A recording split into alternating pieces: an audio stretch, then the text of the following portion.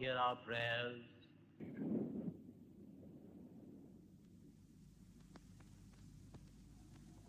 Have mercy on me, O God, according to thy great mercy, and according to the multitude of thy tender mercies, blot out mine iniquity.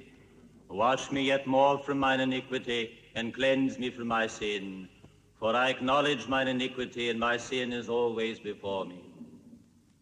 Against thee only have I sinned, and done evil before thee.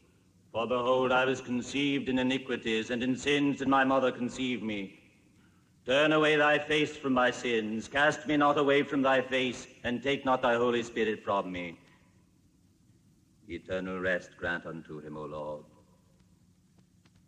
Absolve, O Lord, the souls of all the faithful departed from every bond of sin, and by the help of thy grace may they be enabled to escape the avenging judgment.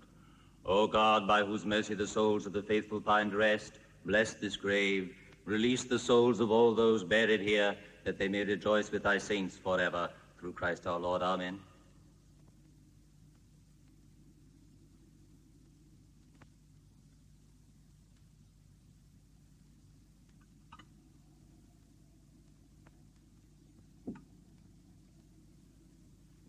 Now our son, Kurt Menliff, is ready for the last judgment. But someday the one who killed him shall also stand judgment by our Lord. Let us pray for them.